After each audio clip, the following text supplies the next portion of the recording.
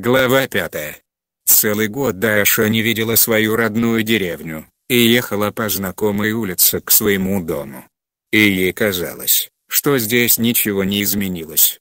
Мама встретила Дашу с палочкой. «Привет, мамуля, как ты тут?» «Здравствуй, доченька, как видишь уже с палочкой хожу». Они обнялись, прослезились.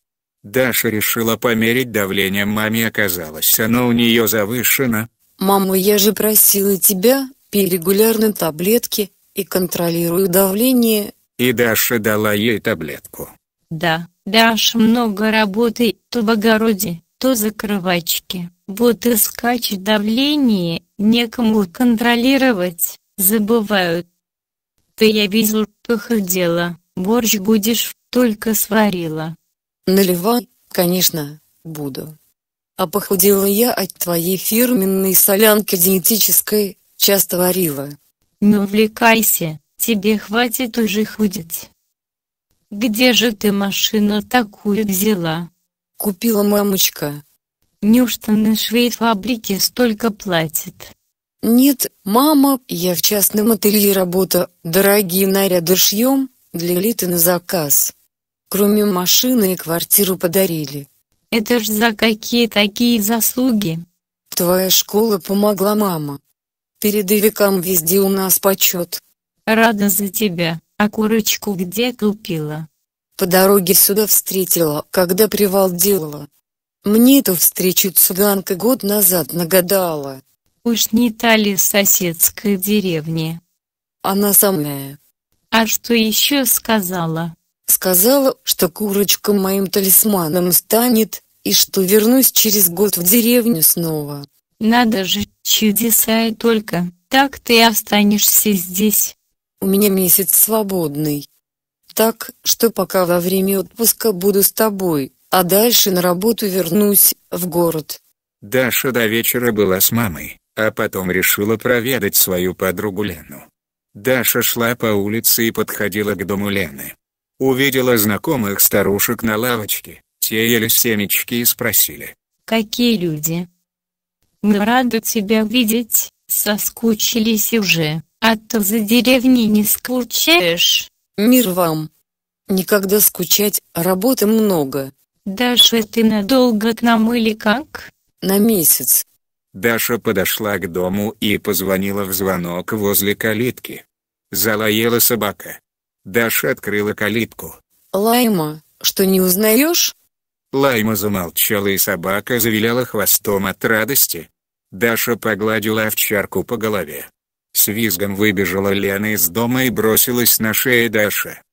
Как я рада тебя видеть, я знала, что ты на днях приедешь, гадалка правду сказала. Привет, подруга, я тоже рада тебя видеть.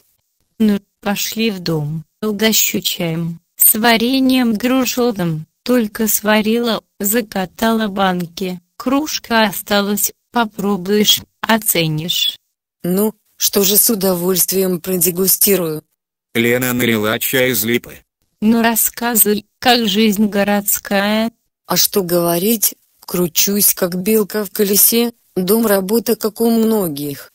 Заработала машину и квартиру. Молодец, а где же так платит? В частном ателье. А что на личном фронте? Тишина. А как твои дела? У меня все по-старому. На ферму дояркой устроилась. То-то я вижу стала как пышка, кровь с молоком. Ну а что делать? Молоко я с детства люблю. А ты я везу похудела. На диете сидишь. Можно было три кило прибавить. Может и прибавлю, за месяц отпуска. Что нового в деревне? Да есть новости невеселые. Одни бизнесмены наехали, за взятку с председателем сговорились, колхоз наш ликвидировать хотят, списать как убыточные построить там то ли спиртзавод, то ли комбикормовый, не знаю точно. Ну и чем эта деревня грозит?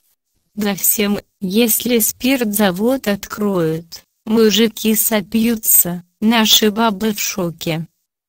Если комбикормовые с фермой для свиней, От запахов задохнемся.